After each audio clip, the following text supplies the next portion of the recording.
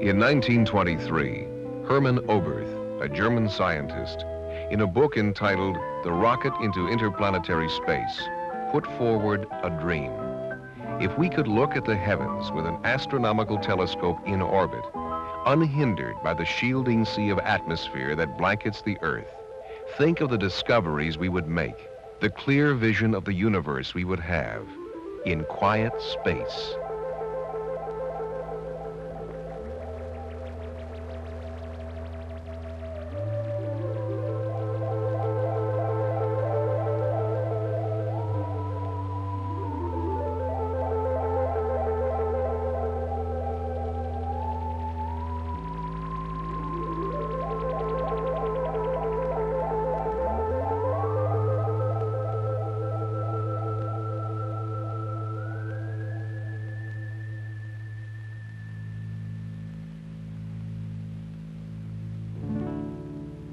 The telescope, an instrument for collecting more light than would normally enter the human eye.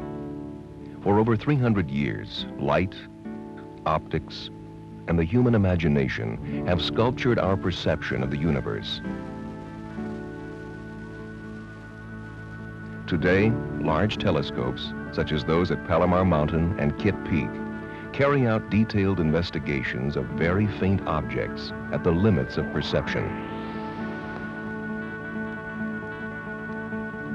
The naked eye has been replaced by spectroscopes, photographic plates, computers.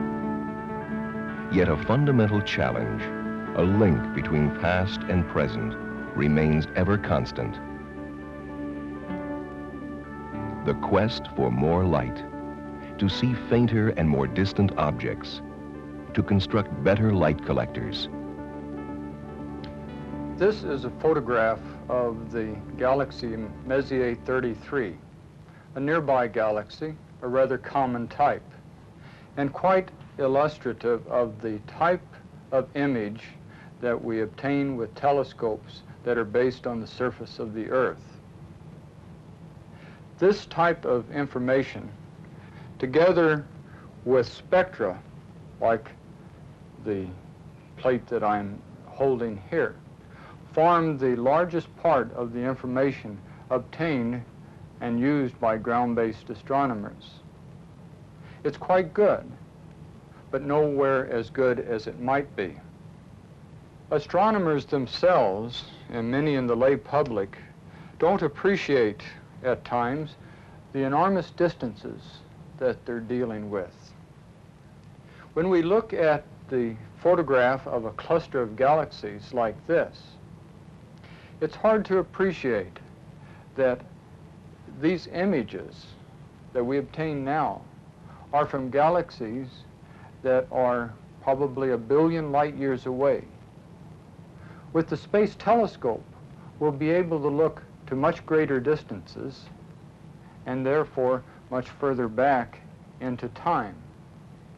In fact, much closer to the creation of the universe itself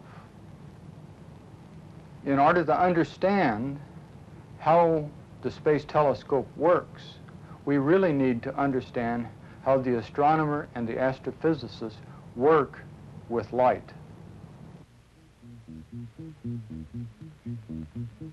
Almost all the information we have about the universe reaches us in the form of electromagnetic radiation, which objects either radiate, absorb, or reflect.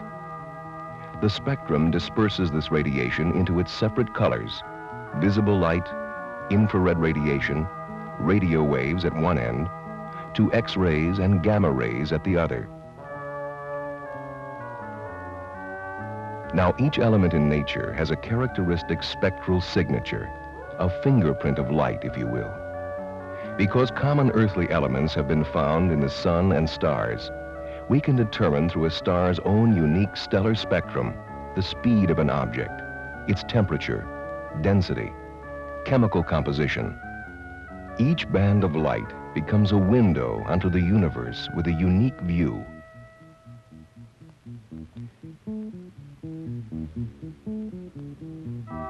But many wavelengths are permanently inaccessible to astronomers using earthbound telescopes. Due to the Earth's atmosphere, which, in shielding us from most of the biologically harmful radiations, allows only visible light and varying amounts of ultraviolet, infrared, and radio to reach the ground. We are given a very incomplete picture of the universe in these wavelengths. Our stellar fingerprint is difficult to analyze.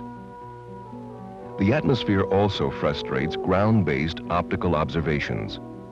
100 miles deep, it is filled with dust particles, water vapor, and other obscuring materials. Constantly shifting layers of air of different densities bend light back and forth. Atmospheric turbulence imposes a fundamental limitation on a telescope's ability to see clearly two objects close together in the sky. At times of bad seeing, stellar images waver like candle flames in a gentle breeze. The Space Telescope will be out where the images are completely quiet, where the full spatial and wavelength resolution powers of the telescope can be used. It will peer far into the ultraviolet and infrared regions of the spectrum. A galaxy seen through the Earth's atmosphere as a big, shimmering fuzzball in space will be brought into sharp, clear, and steady view for study and analysis. We will see it 10 times clearer than we see it now. We will see 50 times further into the universe than the best ground-based telescopes can see. All this from a telescope no different in principle than the reflecting telescope of Newton and his descendants. Every optical telescope operates in essentially the same manner. It gathers a part of the light produced by or reflected from an object, concentrates this light in a single area, the focal plane, and then magnifies the image formed there.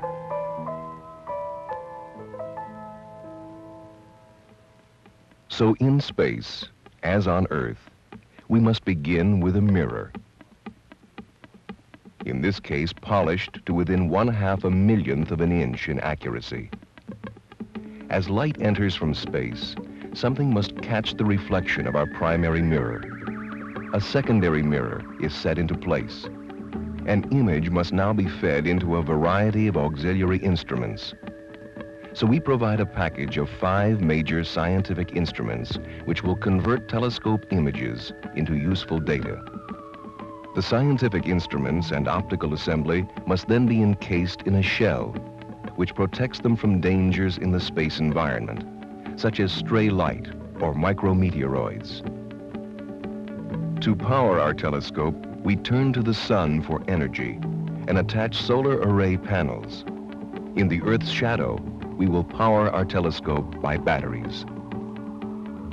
Finally, we must have a means of communicating with our telescope, so we obtain two high-gain antennas Data which these antennas beam back to Earth will be converted to pictures.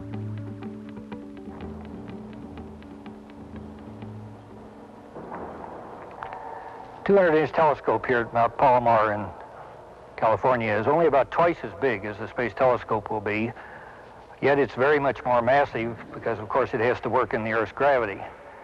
However, all telescopes, including this one and Space Telescope, are essentially the same. They gather light so that we can analyze it with various instruments. The Space Telescope will have five such instruments.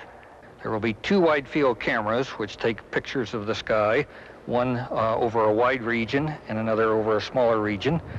Uh, the smaller um, region camera will have much higher resolution than the other. There will also be two spectrographs aboard Space Telescope. One will be used on fairly bright objects and uh, take the highest resolution spectra. The other are, will be used for quite faint objects, uh, such as galaxies and faraway quasi-stellar sources. There will also be on Space Telescope an instrument that utilizes the fine guidance system of the telescope. This is the system that keeps the telescope pointed quite accurately at the stars during an exposure. This instrument will allow us to measure the distance between stars quite accurately on the sky and also their motions over uh, a short period of time. The Space Telescope, due to be launched in the 1980s, will be hoisted into orbit some 500 miles above the Earth by the Space Shuttle. Fitting into the shuttle's cargo bay, the telescope will be latched to a tilting mechanism and rotated into a 90-degree position for checkout. It will then be placed in a vertical angle, released, and its power and communication systems deployed. The periodic revisit of the shuttle will allow for the replacement of components and routine maintenance. Every five years, the telescope will be returned to Earth for major ground refurbishment. This ability to service the telescope through human care will extend its lifespan up to 20 years.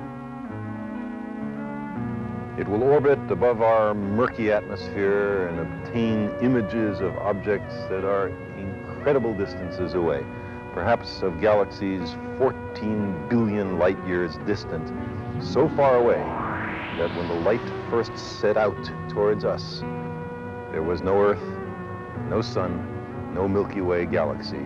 We will be probing the time of the earliest history of the universe. Space Telescope is, in a way, a little like Galileo's first telescope. Wherever Galileo pointed his telescope, he made major new discoveries. Look at the moon, you find mountains and craters. Look at Saturn, you find rings. Look at the Milky Way, you find it is littered and composed of stars. Every one of these discoveries, things that people had not known before. I think it's going to be very similar with the Space Telescope. It will illuminate celestial objects that we know about. It will discover celestial objects never before guessed. It will provide insights into the most important questions such as stellar evolution, such as the uh, search for planets going around other stars, and the grandest cosmological questions of the origin, nature, and fate of the universe. Space Telescope is a kind of grand intellectual adventure for all of us, which will cast light not just on the cosmos, but also on ourselves. It's impossible to predict what Space Telescope will bring in terms of its results. But we do know the results will be exciting. When the first radio telescopes were built, we did not know that we would find quasars and pulsars. Or when the first X-ray telescopes were built, we did not know that we would discover X-ray stars. With Space Telescope, we will find many new things. We'll find exciting things. Stretching the mind of humankind to the very beginning and end of space and time, the Space Telescope may tell us at last whether the universe will expand forever or whether that expansion is slowing.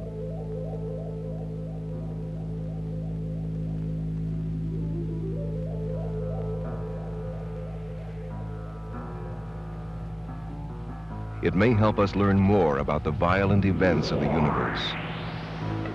Pulsars, quasars, the gravitational implosions that produce black holes.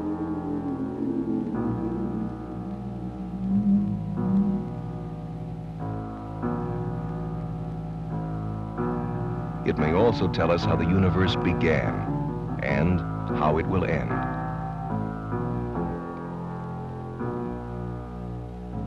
But ultimately, as is the case with all voyages of discovery, its greatest contribution will be the unexpected breakthrough that brings completely new knowledge.